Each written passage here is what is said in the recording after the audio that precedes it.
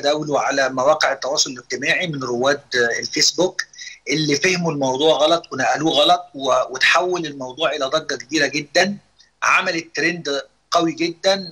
عايز أقول لك إنه مسمع في كل مكان في العالم وكالات أنباء من كل حتة في الدنيا بتكلمني وبيانات حكومية وبيانات من مؤسسات دينية زي البيان اللي صدر من الأزهر والبيان اللي صدر من دار الإفتاء المصرية واللي بيقولوا إن جواز التجربة ده جواز محدد المدة. ولا يجوز ذلك باعتباره جواز حرام. وأنا متفق عشان ااكد بالمناسبة معاكي إن أنا موافق جدا على كل اللي جه في بيان الأزهر وكل اللي جه في بيان دار الإفتاء.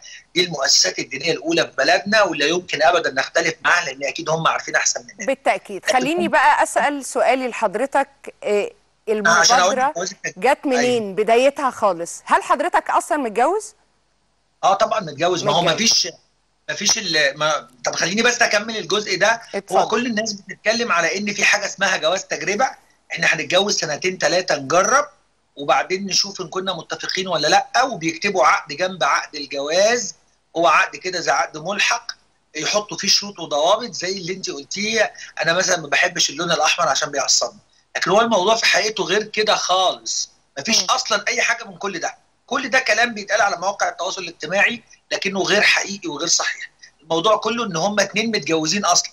حلو. الموضوع والفكرة المبادرة والفكرة كلها جت من إن في زوجين متجوزين أصلا. جات لي الزوجة دي مكتبي عشان أرفع لها دعوة طلاق.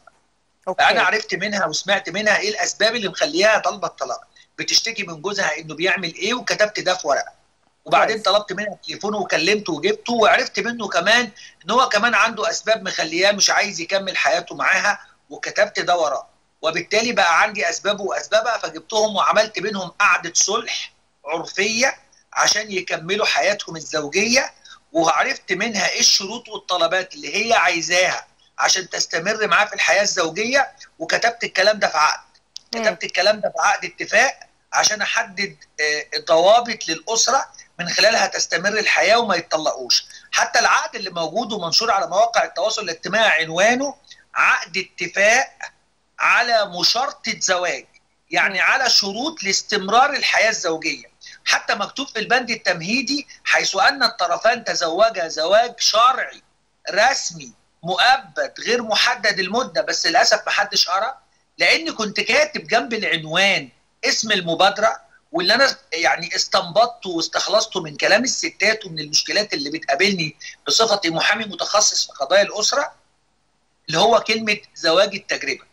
وده كان قصدي بيه حاجتين لكن للأسف أسيء الفهم. طب أنا عايزة أسأل حضرتك سؤال تاني يا دكتور أحمد.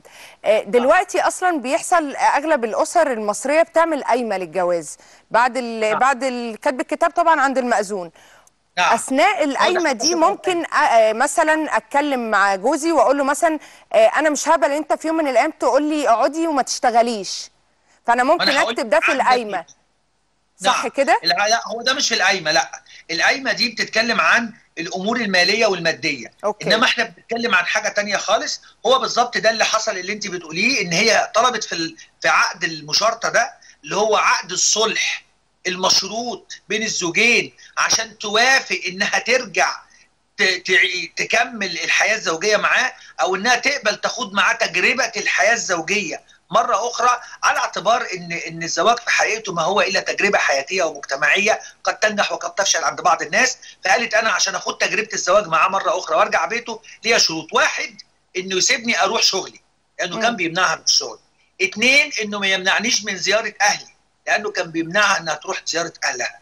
ثلاثة ما ياخدش فلوسي لأنه كان بياخد فلوسها اللي بتشتغل بيها. أربعة هو بيضربني فأنا مش عايز يضرب. طبعا كلها أكيد حاجات كلها كل واحدة بتتغير أسبابها من سيدة لأخرى ومن رجل لآخر. ولكن إيه الفايدة بعد ما همضي وهو هيمضي؟ هل إحنا اتفقنا قبل الإمضة على التغيير؟ يعني أنا هتغير فمش هضايقك وأنت هتتغير فمش هتضايقني؟ ولا بنعمل شروط جزائية على بعض ولا إيه اللي بيحصل؟ أيوه بالظبط في شروط جزائية. هو زي ما بتقولي كده. مادية؟ أيوه مادية. أوكي. ولا ولا لا معلش معلش والزوج اللي كان مع السيدة اللي جت لحضرتك وافق ومضى؟ أيوه الاثنين مضوا. ما ده عقد اتفاق بين طرفين. أوكي. خليني أقول لك اللي حصل إيه. اللي حصل إن هي قالت أنا ليا شروط فكتبنا لها الشروط دي. هو كمان قال أنا عندي شروط. منها مثلا قال أنا موافق إنها تروح الشغل تشتغل بس كمان تساهم معايا في الحياة الزوجية. وكمان أنا مثلا معترض على إنها بتلبس أحيانا لبس متحرر فأنا عايزها تلبس حجاب. شروط هو يعرف فيها كده وهي كان ليها شروط أكتر بكتير وأقوى وكان عندها